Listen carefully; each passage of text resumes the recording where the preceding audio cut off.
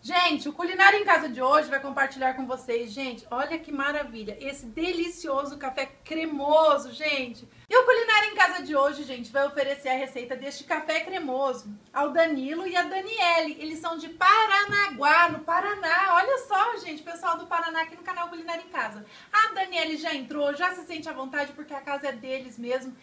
Aí a Daniele falou assim, Lu, manda um beijo pro Danilo, que sexta-feira é aniversário dele. Então eu não fiz bolo, Danilo, mas a tia fez esse café delicioso. Eu espero que vocês gostem aí. Daniele, muito obrigada pelo carinho, Danilo.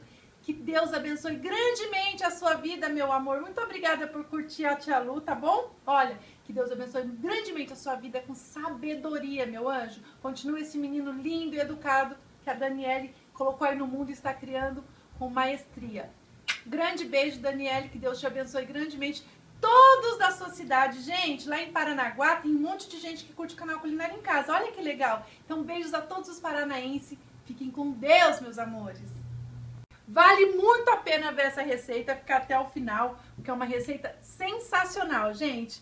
E para a nossa receita, gente, do nosso cafezinho cremoso de hoje, nós vamos precisar de 50 gramas de café solúvel. É um pacotinho desse aqui, olha. Um pacotinho vem 50 gramas, tá bem? Olha, eu tô usando o Melita, mas você pode usar o da sua preferência, tá bom? Duas xícaras das de chá de 240 ml de açúcar. Eu estou usando açúcar refinado. E uma xícara, a mesma medida do açúcar, uma xícara, a mesma xícara que você mediu o açúcar, você vai colocar uma medida de água quente. A água não pode ser fervendo, ela tem que ser de morna para quente, tá bom? E uma batedeira, nós vamos precisar fazer na batedeira. Pode fazer no liquidificador? Não, não pode. Por quê? Porque o liquidificador, ele não vai deixar o seu café cremoso, cremoso como ele vai ficar aqui. Então, nós vamos colocar tudo na batedeira, olha. Primeiro, o café. Deixa eu tirar aqui para vocês verem. Primeiro o café aí o açúcar e a água.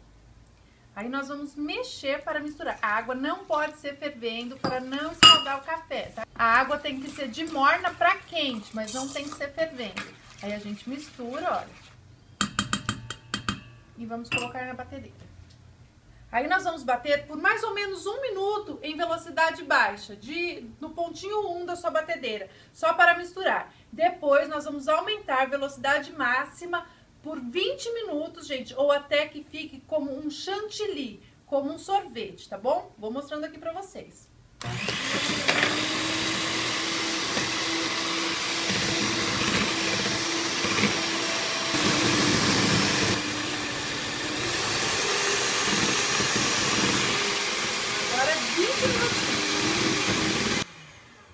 Olha aí, gente, 20 minutinhos depois, olha como ficou bonito o nosso café.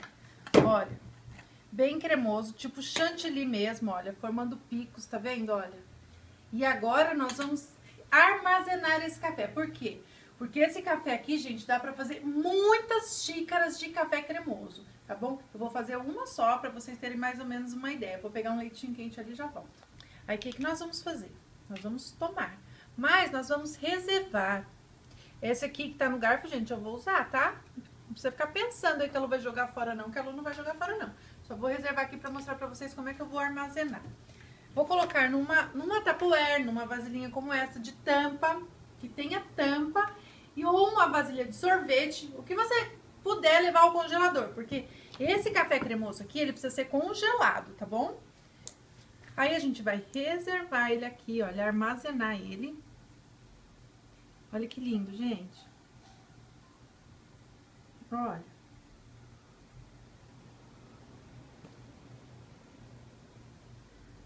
Nós vamos colocar todo numa vasilha e vamos levar ao freezer. Lu, por quanto tempo? Pelo tempo que você quiser. Toda vez que você for utilizar, você retira do freezer, tira a sua porção e deixa ele lá, tá bom? Mas dá pra muitas porções, gente. No frio, hein? É que a Lu tá fazendo agora, mas isso aqui no frio. Tem gente que gosta gelado também. Eu prefiro quentinho. Então, o que que eu vou fazer? Eu vou fazer até na minha taça transparente aqui, olha, é pra vocês terem uma noção de como é que vai ficar. Vou colocar um pouquinho de canela. É a gosto, viu? Vou colocar um pouquinho de canela só pra dar um, um tchan. Aí a gente coloca... Coloquei a canela, gente. Agora a gente vai colocar uma só. Vamos ver como é que vai ficar. Não precisa colocar muito, porque é forte. Ui. E aí a gente vai acrescentar o leite quente, gente, olha. Colocando aos poucos. Olha isso. Olha aí, gente. Olha. Sem chantilly, sem leite em pó. Muita gente pediu para eu fazer esse café cremoso falou assim: Lu, eu tenho uma dúvida. Eu acho que só daquele jeito não funciona, que precisa de colocar um pouquinho de leite em pó. Não precisa, gente, olha. Leitinho quente. Uma canelinha. Se quiser colocar um pouquinho de chocolate em pó, vira quase um cappuccino. Olha. Dissolveu bastante, o que, é que você vai fazer? Vai tomar, né? Vamos experimentar. Vamos lá. Hum, gente, uma delícia. Vocês viram? Olha, eu utilizei mais ou menos 200 ml de leite quente em uma colher das de sobremesa. Essa aqui, olha, desse café. Então, você imagina o quanto ele rende, porque olha o tanto que tem. Tem mais um pouquinho aqui, olha, que eu ainda não retirei. Então, rende muito mesmo. E você pode congelar porque é muito prático. Então, gente, e é sensacional. Sensacional. Eu trouxe essa, esse meu, meu pratinho com esses biscoitinhos aqui, gente, para mostrar para vocês, porque esses biscoitinhos vieram lá do Chile pro canal Culinário em Casa. Veio uma bandeja linda, linda, mas a gente comeu. E aí sobraram alguns e a gente agora a gente serve com esse delicioso café cremoso, não é?